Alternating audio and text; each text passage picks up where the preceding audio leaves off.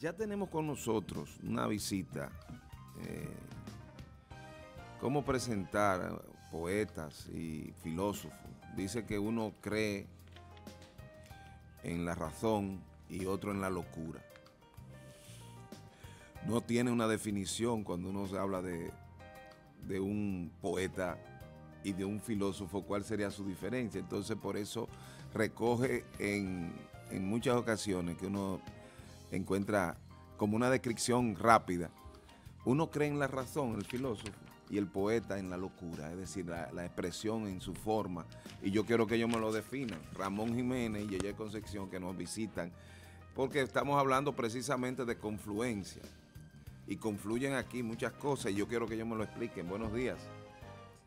Sí, mira, ellos eh, eh, me han pedido que lea lo que es el- Ah. la parte conceptual de, del proyecto y entonces Vamos voy a permitir leerlo. Yerjan. Confluencia es un espacio, proceso de crecimiento hacia la intimidad de las apelaciones que prosperan en vivencias experienciadas al interior de la conciencia, para ser testimoniadas mediante la genuina expresión de la poesía, mirada que se ahonda hacia la belleza como resplandor de la verdad del ser de las cosas.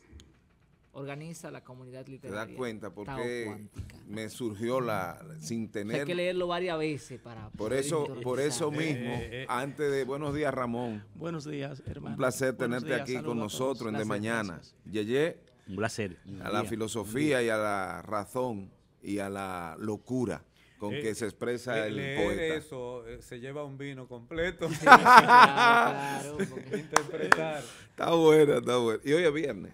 Sí. Invítame, Fulvio, ustedes ya, ya lo vamos a Un hacerlo. par de cigarros de Y tuyo. va de puros. Bueno, Buenos días, Ramón. Buenos Cuéntanos, días, es un placer. confluencias. sí, es un placer para nosotros. En nombre de, primero de la comunidad literaria Tao Cuántica y de Confluencia, el Festival Internacional de Poesía de la provincia de Duarte, ahora en su versión 2024. Entonces, eh, eh, dice que es internacional. ¿Vendrán otros poetas de Sí, diferentes países? Sí, hace honor a- al nombre.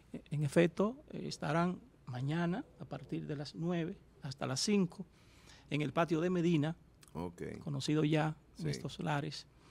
Eh, autores, poetas sobre todo, eh, de todo el país y de otros países. Qué bien. Así es. Y en cuanto a, a la parte con la cual Traté de hacer una se confluencia introdujo, entre sí. una y otra. Sí, nosotros eh,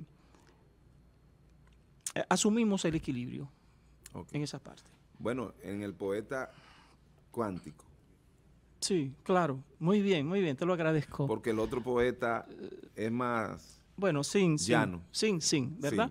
Eh, bueno, sí, en el ideal estético tao cuántico asumimos esto, el equilibrio. El equilibrio, correcto. Eh, tú hablabas de la filosofía, en la que se apela a la razón, aunque no del todo a la razón, también la alta reflexión, que es el más encumbrado ejercicio del pensamiento humano, y la intuición sobre todo. No quepa la menor duda de que un personaje, una lumbrera como por ejemplo Aristóteles, Platón, eh, en su ejercicio de pensamiento eh, siempre estaban prevalidos no solo de la razón, sino de la intuición. La intuición como la certeza del ser de las cosas. De tal manera que la intuición es un mecanismo eh, de contacto entre el hombre, entre el pensamiento eh, y la realidad en su más entrañable esencia. Qué bien. Maestro, Sí, diga usted. usted ha venido en varias ocasiones a este programa y ¿Cómo no? Que usted tiene un símbolo. Ah, Siempre sí. anda con él. La, Sí, las veces que tiene la oportunidad de verlo. Eh, para el nombre muchos, de Yarjan, Para muchos, este símbolo, que es el símbolo de Yin Yang, Sí. es algo que tiene que ver con eh, El taoísmo. oscuros, para, para- para Ah, el que no bueno. tiene conocimiento. Bueno, Entonces, sería bien. importante, ¿verdad?, para el público que nos está viendo, que usted explique eh, qué es lo que significa y por qué usted lo usa. Bien, mira, hermano, te agradezco la pregunta. Te la agradezco de verdad. Mira, est- estamos transitando un tramo de la historia en la que andamos tropezando con todas las eh, eh, sin razones. han emergido en esta etapa de la humanidad diferentes corrientes de pensamiento, eh, dogmas, fanatismos, ¿por qué no? Y entonces han eh, echado manos, como decimos, de todos los símbolos y lo usan y le dan nuevas categorías semánticas de sentido. Y entonces las personas que están al margen de la certeza en cuanto a qué son las cosas y cuál es su verdad, verdad- y cuál es su verdadero sentido, pues se van con ellos por ese sendero eh, eh, equivocado. No, este es un símbolo muy conocido ya en Occidente, pero que eh, miles y miles de años antes, ya en el lejano Oriente, es asumido como el símbolo del equilibrio del universo. El símbolo del equilibrio del universo. Y aquí se le llama, ah, el símbolo del yin y el yang. Bueno, para los grandes estudiosos, como en el caso de Yeye, y no, es, y no estudioso, sino también una persona que vive en función de ese ideal, Sí. el poeta y hermano Yeye, Concesión Lajara. Eh, y mira que pongo el apodo primero porque Sí, lo conocemos más como como, lo sí, conocemos. sí. eh, más cercano a nosotros es como Yeye. Eh, no, es todo lo contrario. Eh, es el símbolo del equilibrio del universo. El universo se sostiene en la- el equilibrio mismo entre la luz y la sombra. Luz y sombra en términos de fuerzas, de manifestaciones energéticas. Correcto. ¿Comprende? Sí. Solo que ah, para Occidente, y eso ha sido muy manipulado por algunos dogmas e instituciones, eh, pues eh, venden y presentan las cosas como malos si eso no va de acuerdo con sus ideales, con sus intereses. Y es en Occidente que se habla de el bien y el mal. En Oriente no se habla del bien y el mal. Se habla de la luz y la sombra, de la manifestación que nos parece positiva de la energía y que nos parece no tan positiva, pero que sin duda es una dinámica que es lo que Eh, sostiene el universo. Y define el área poética que, que, que, has- Que el taoísmo, que, que la tao cuántica que la Tao cuántica. Postula, postula. No todos los poetas pertenecen o se definen sí. Tao cuánticos. No, no, no. Esto es un ideal Entonces, al ser un ideal propio de Ramón Jiménez, Bueno, no, bueno. no, no, en este caso Bien, bien. que Ah, lo ya. exhibe Te y, lo, y te presenta como tal, como un poeta Sí.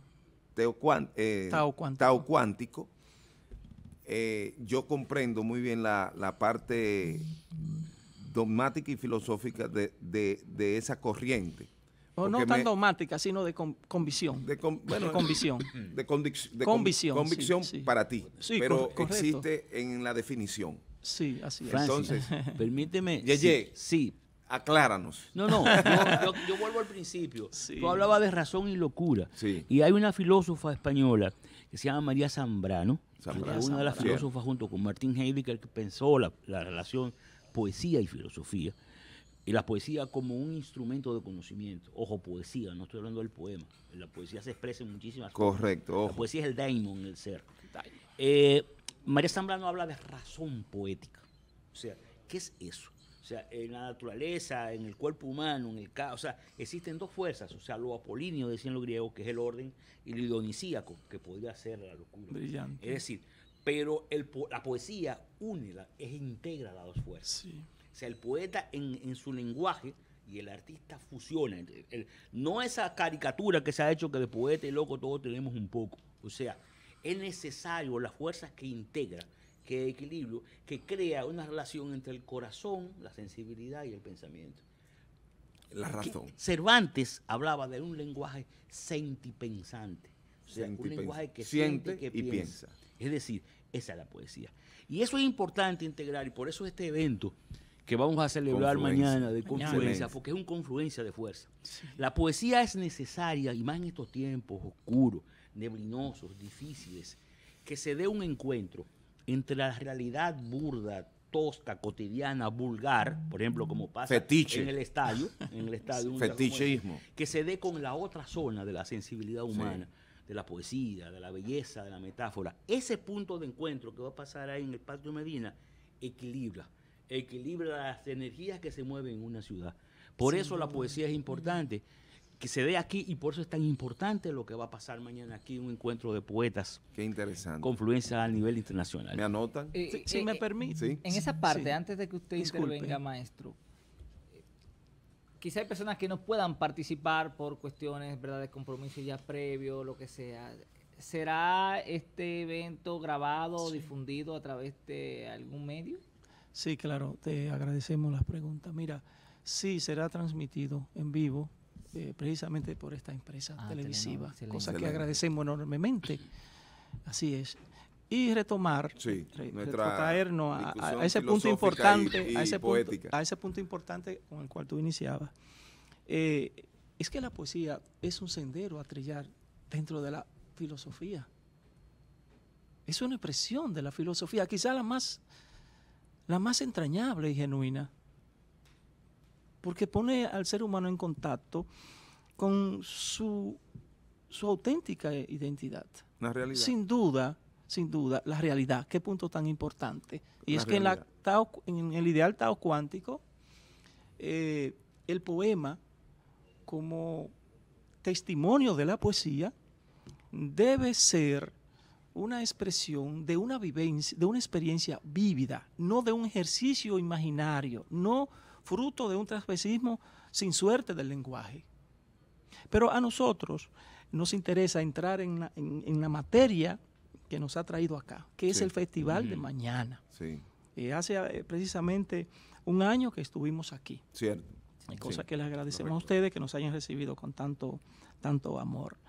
Entonces, Sí. sí, mañana, a partir de las 9 de la mañana, eh, será el Festival Internacional de la Poesía de la provincia de Duarte, en su versión 2024. En esta ocasión, confluencia, muy bien, muy bien. En esta ocasión dedicado al maestro de siempre, Roberto Santos Hernández Ay, eh, hartos y, y, y plura- y plurales méritos sí, como para que así sea. definitivamente. Un saludo. sí. Sí, ¿Qué esperan ustedes de los resultados? Digo, si el resultado es porque se esperan. eh, de la actividad de mañana en materia de poesía. ¿Hay alguna invitación especial a jóvenes o a universidades para que también se vayan integrando al conocimiento de este mundo, de la poesía? Sí, o sea, todo el que quiera puertas abiertas, todo el que quiera participar puede ir, ¿verdad, eh, Jiménez? Eh, en la organización lo importante es esperar los resultados de que se de- despierte la pasión y la devoción por la poesía. Eh, querido hermano Fulvio, venimos del futuro. Ya eso aconteció. Será maravilloso. Será maravilloso. Es, como decía nuestro hermano Francis, es todo un espacio dinámico de confluencia. Vienen fuerzas espirituales, porque la poesía es una expresión espiritual Sí. también. Definitivamente. Eh, todo lo que mejora al ser humano es una expresión espiritual. Y eh, vienen autores, como decíamos ya, de otros países y de todas par- partes del país a decir su voz poética. Y eso esperamos, que se crea allí un vórtice de energía, como dijera a su modo sabiamente nuestro querido poeta Yeye, un vórtice de energía que repele, que combata esas energías oscuras que se van generando en estas sociedades occidentales. Y que si no fuera por expresiones como la poesía, eh, estuviéramos eh, vencidos totalmente, fuéramos vencidos totalmente por la Que oscuridad. de hecho es muy difícil en estos tiempos, digo, cuando tú tienes un Boy Shuhan que escribe la agonía del héroe.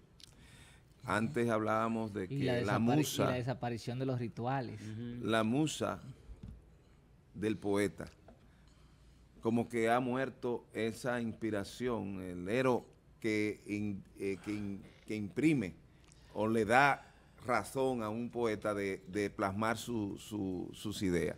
Pero es difícil para mí, en esta etapa de la vida, que ha muerto o que está muriendo el héroe, ¿tú cómo lo, lo, lo describes? Toda afirmación es peligrosa. O sea, Ya. eh, eh, es un riesgo. Afirmación Aunque lo haga con Afirmación certeza. Toda certeza. certeza eh, tiene un absoluto. Sí y no. Es la sabiduría. El camino del Tao es eso. Eso sí es. y no al mismo tiempo. Y la mecánica cuántica es todo al mismo tiempo. Una afirmación, una negación. Con todo el respeto a Boyun Chilhan, En un desorden Sí, organizado. Sí, hace un caos a organizado. pesar de Así su mismo caos. Muy Así bien, mismo muy bien, Ahora mismo que en vez de la desaparición de- de- del Eros, el amor sigue convirtiéndose siempre en un ágape. Lo- Los padres siguen amando a sus hijos y, Sí. y- y sigue siendo más amando la poesía. Y más que nunca, más, Más que, que nunca. en este tiempo, se escribe y se publica poesía. Una Pero cosa, bueno, ¿por qué no he visto, escúchame, eh, Francis. aquí no hay, eh, un- aquí Sí. me, me preocupa, no he visto ninguna expresión de una corriente del haiku. Sí. Sí, sí, sí, Sí. sí. Sí, sí, sí. Nosotros cultivamos Sí, eh, sí. ese tipo de, de y Alexis Gómez de Rosa poética. tiene problema de la una Sí. cabeza caliente. Del Claro. haiku. Sí, sí, sí, sí, sí, sí. Claro, el Sí, haiku sí, sí. que es eh, un ejercicio poético japonés, Japonés. ¿verdad? Básicamente, y que en Occidente muchos han, Brillante. de- o del cual muchos en, en Occidente han hecho una especie de minifalda, como diría Sí, nuestro hermano Lo que Yeye. sucede es que los medios Pero- de comunicación no le prestan atención en la agenda informativa a eso. Eso es un milagro que nosotros entremos aquí en De Mañana Sí. por la sensibilidad de, de las Sí. producciones de que presten eso. Pero aquí siempre y sigue, sigue escribiéndose por muchísima, muchísima poesía y gente muy joven y gente con muchísimo talento. Qué bueno. Solo que hay personas que no tienen conciencia de lo que es realmente un haiku. Hay quienes creen que un haiku es sencillamente un poema breve. Y no, No, es así. Está vinculado, debe estar vinculado necesariamente a la naturaleza. A una Y es un ejercicio de pensamiento. de- y- y de muy ahondado, muy, ahondado. observa- sí, sí, Por sí. ejemplo, temprano, la niebla hace distante el árbol, vuela una garza. Es decir, no, Eso me, es un dejaba, no haiku. me dejaba ver Eso el es un árbol, haiku. eh, Estaba ahí. Sí, sí. Ese es haiku. Entonces, Eso es un maestro, haiku. Gracias. Reiterar la, la actividad Eh, sí, y muchísimas ahora gracias. y verdad. Sí. Mañana sábado, a partir de las 9 hasta las 5, Festival Internacional de la Poesía de la provincia de Duarte, en su versión 2024. Los invito. Dedicado al maestro de siempre, Roberto Santos Hernández. ¿Habrá ya Sin dejar de decir, sí, claro que sí, claro que sí. Sin bien. dejar de decir De que Lucelene Plata, que está- va a dar la biografía Ah, sí, también. sí. Ah, Sí, sin dejar de decir que Confluencia, el festival, está concebido, organizado, coordinado por la comunidad literaria Tau Cuántica, la que es órgano de expresión del ideal estético Tau Cuántico, y que a él, y que no solamente como instituciones son estas las que están participando, sino que también la, la UAS, nuestra querida UAS, a través de la Facultad de Humanidades, en la persona de eh, tam- el también poeta, el decano, doctor Geraldo Roa Ogando, que también es parte de la comunidad literaria Tau Cuántica y un soporte muy importante para toda esta dinámica que Qué estamos, bien, estamos llevando a gracias cabo. a Gracias los a, poetas, ustedes. Gracias a filósofos de nuestro pueblo, Ramón y Yeye. Gracias. Gracias a ustedes por estar. Gracias. Siempre, Confluencia. sie- siempre nos atrevemos a decir que van a tener un espacio en de mañana. Siempre, Muchísimas gracias. siempre. Gracias.